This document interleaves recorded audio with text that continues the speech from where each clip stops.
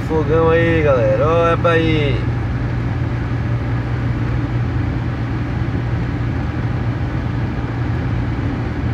Apagaram o fogo, velho. Olha, é só fogo, tudo queimado. E o caminhãozinho também.